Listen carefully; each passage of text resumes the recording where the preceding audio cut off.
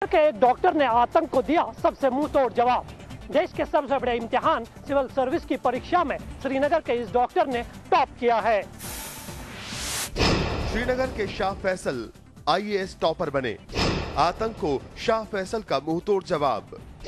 शाह फैसल के पिता को आतंकियों ने मारा था। संघ लोक सेवा आयोग ने साल 2009 की सिविल सेवा परीक्षा का परिणाम घोषित कर दिया है।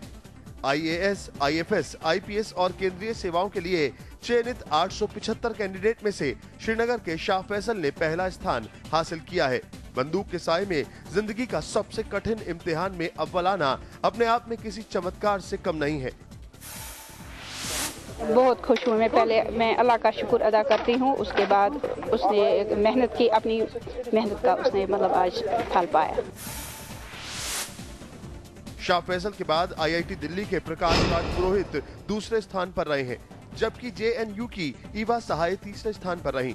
टॉप 25 में 15 लड़के और 10 लड़कियों को सफलता मिली है। शाह फैसल की जितनी तारीफ़ की जाए, वो कम है। शाह फैसल ने बंदूक का जवाब सर्वश्रेष्ठ प्रशासनिक बन कर दिया है। शाह फैसल सिर्फ़ कश्मीर में ही नहीं, बल्कि पूरे हिंदुस्तान के लिए एक मिसाल बन गए हैं। कैमरामैन मोहम्मद असलम के साथ मंजूर मीर इंडिया टीवी श्रीनगर।